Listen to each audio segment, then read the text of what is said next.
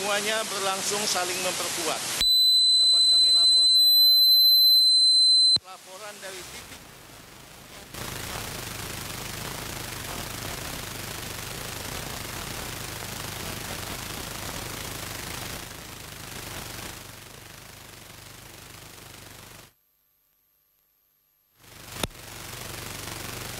kami dengan suara bulat menetapkan bahwa awal Ramadan 14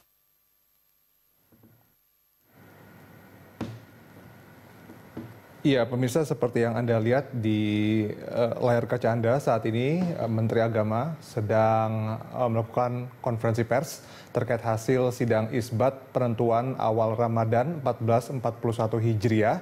Dan kita juga bisa melihat tampak eh, sejumlah pejabat eh, Kementerian Agama seperti Wakil Menteri Agama dan sejumlah eh, perwakilan dari ulama dan sebagainya untuk menentukan dan mengumumkan eh, hasil eh, sidang isbat awal Ramadan 1441 Hijriah langsung dari Kementerian Agama Republik Indonesia.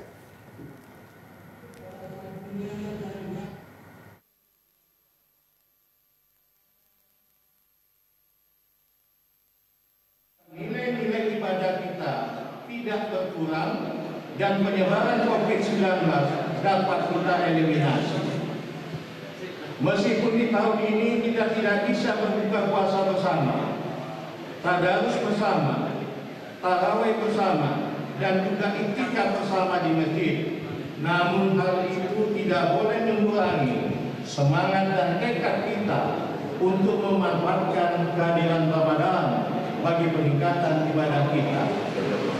Bahkan tahun ini dianjurkan untuk tidak melakukan ziarah kubur karena akan berpeluang untuk bertemu dengan orang banyak yang sangat mungkin di antaranya ada yang sudah terjenggapi COVID-19.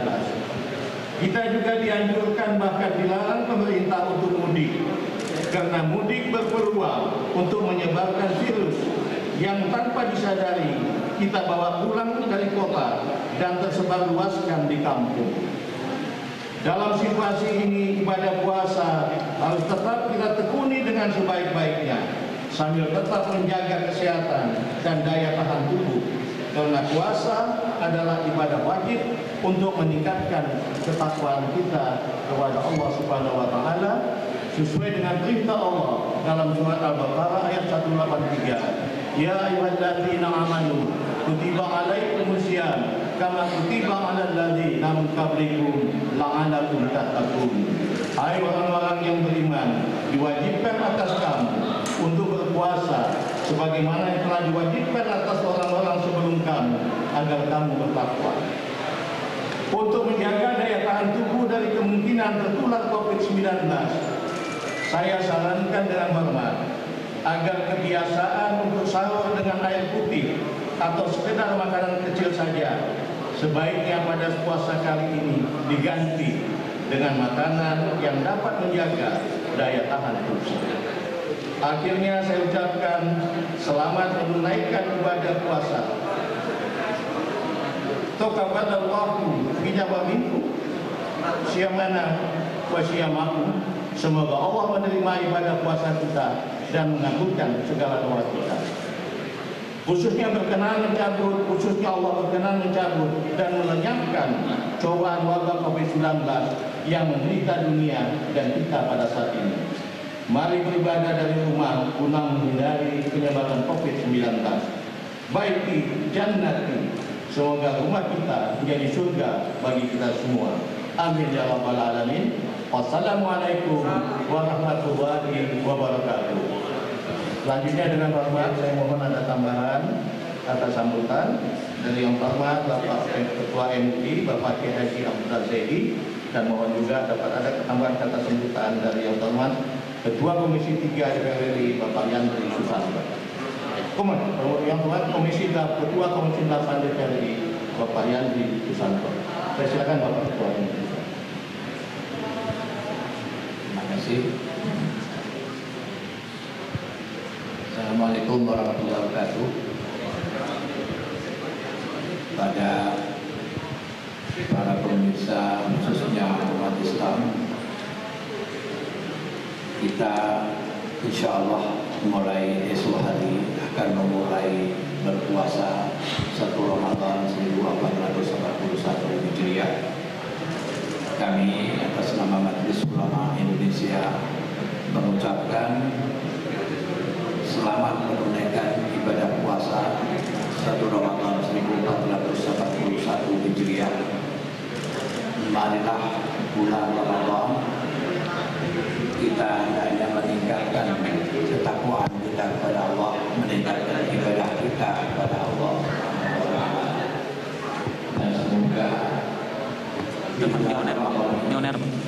ini kita senantiasa diberi kesehatan, ketabahan di dalam melaksanakan ibadah puasa ini di musibah yang luar biasa yaitu musibah COVID-19 ini yang tentunya kita harus menjaga kesehatan kita masing-masing, menjaga imunitas tubuh kita sehingga di dalam ibadah puasa ini tidak dapat dekat Menteri Agama Pak. sampai akhirnya kita perlindungan dari Allah Subhanahu wa taala. Amin.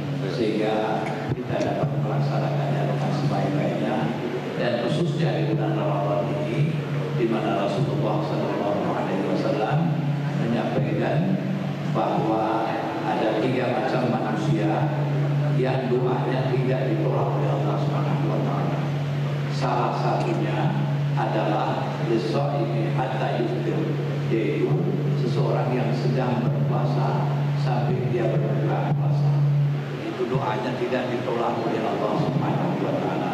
Mudah-mudahan dengan ini kita di dalam bulan puasa jangan kita melengahkan waktu kita untuk senantiasa berdoa pada Allah Subhanahu wa taala agar insya Allah musibah COVID-19 ini di tengah-tengah kita berpuasa diangkat oleh Allah Subhanahu wa taala bagi kita bangsa Indonesia dan bagi masyarakat di dunia sehingga kita dapat mengakhiri penderitaan ini dan kita punya masa depan yang lebih baik di kemudian hari insya Allah. Yang kedua adalah tatkala kita melaksanakan ibadah puasa ini hendaknya kita jangan melupakan juga selain amal ibadah kesolehan ibadah kita tentunya kesolehan sosial kita yaitu dengan menyantuni saudara-saudara kita yang sedang berpuasa dan fakir miskin yang sangat membutuhkan uluran tangan kita anak yatim, fakir miskin dan lain-lainnya yang dalam keadaan penderitaan mereka di bulan Ramadan ini yang sangat-sangat menderita maka hendaknya para ahlinya, para orang yang kaya, mereka-mereka yang mempunyai kelebihan hendaknya kita tidak melupakan saudara-saudara kita yang sangat membutuhkan uluran tangan kita. Yang ketiga adalah marilah kita mengikuti arahan daripada pemerintah bertahan dengan PSBB dan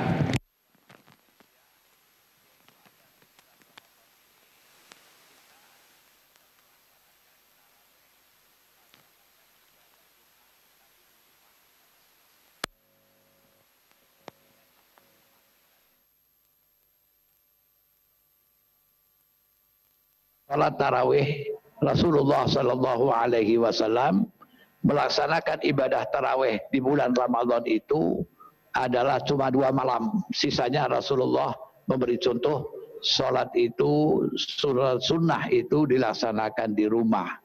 La taj'alu buyutakum kuburon. Jangan kamu jadikan rumah kamu bagaikan kuburan. Akhirnya sepi. Tidak ada ayat-ayat Al-Quran yang dibaca tidak ada zikir-zikir yang kita kumandangkan dari rumah-rumah kita mempererat antar anggota keluarga di dalam kita melaksanakan ibadah Ramadan ini dan dalam tatkala kita melaksanakan ibadah-ibadah yang lain. Ketiga, sebagaimana disampaikan tadi oleh Bapak Menteri Agama berkenaan dengan mudik, ya sebaiknya kita ini tidak mudik, ulurkan ini, mudik ini pada saat-saat kita sudah agak tenang dengan beban COVID Bulan Rasulullah Sallallahu Alaihi Wasallam, kalau kamu berada di daerah yang terdampak wabah, maka hendaknya kamu jangan keluar, sehingga akan berdampak kepada saudaramu yang lain dari wabah itu. Berarti kita akan menyelamatkan saudara-saudara kita. Saudara kita. Janganlah ini dengan kita menyelamatkan saudara-saudara kita, ini memiliki fadilah keutamaan yang luar biasa bahkan lebih daripada jihad karena ini memerangi bersama-sama penyakit wabah corona ini mudah-mudahan Allah SWT akan senantiasa menjaga kita menyelamatkan kita dan memberikan kesehatan kepada kita dan sehingga Allah SWT dapat mempercepat musibah ini sehingga kita dapat beraktivitas kembali dan menatap masa depan yang lebih baik dan gemilang. Terima kasih atas segala perhatiannya. Wassalamualaikum warahmatullahi wabarakatuh. Terima kasih Pak. Dengan hormat Bapak Ketua Komisi 8. Sudah.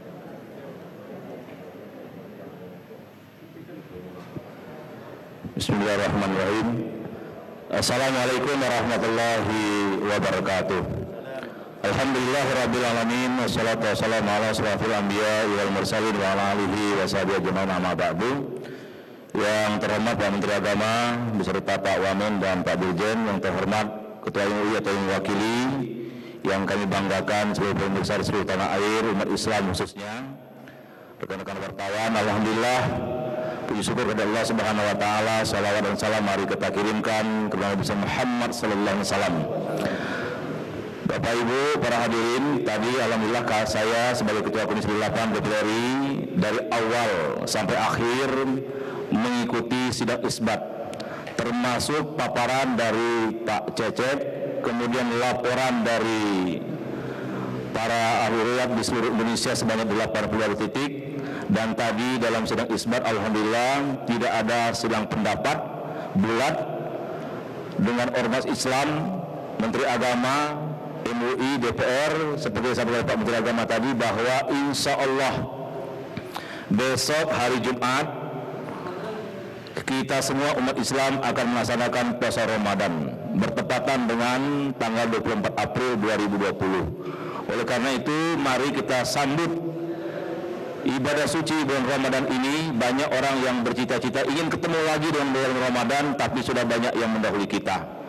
Oleh karena itu kami mengharapkan jadikanlah momentum Ramadan ini momentum kebangkitan kita semua, kebangkitan bangsa ini yang hari ini sedang dicoba dengan cobaan yang luar biasa yaitu virus corona. Oleh karena itu di samping kesalahan pribadi, kita dituntut juga kesalahan sosial. Artinya saatnya mulai besok hari-hari mendatang kita dicoba juga oleh Allah Subhanahu wa taala apakah kita peduli dengan sesama atau kita tidak peduli dengan sesama. Oleh karena itu kami mengajak pastikan bahwa saudara-saudara kita yang dalam ketiadaan ekonomi harus kita bantu sesuai dengan kemampuan kita. Dan kami sampaikan kepada pemerintah Republik Indonesia, mohon dipastikan orang yang mendapatkan bantuan sosial, sembako atau BLT, dipastikan yang berhak menerima harus menerima. Jangan sampai yang tidak berhak menerima justru menerima. Dan mohon ini selalu dipantau. Jangan sampai ada anak bangsa yang kelaparan gara-gara tidak makan atau kekurangan gizi. Oleh karena itu bagi kita semua rakyat Indonesia yang punya kemampuan apakah itu individu, perusahaan atau lainnya kita mari saling membantu. Keluarkan semampu kita karena inilah ujian kita semua bukan ujian individu-individu atau yang terpisah oleh karena itu sekali lagi saya Ketua Komisi 8 DPR mengajak kita untuk bahu-membahu saling membantu untuk keluar dari persoalan ini. Dan bulan Ramadan adalah momen yang sangat tepat untuk kita berserah diri kepada Allah Subhanahu wa taala. Berdoa dengan hikmat dan khusyuk semoga bangsa ini dan umumnya dunia keluar dari wabah virus corona atau COVID-19 ini.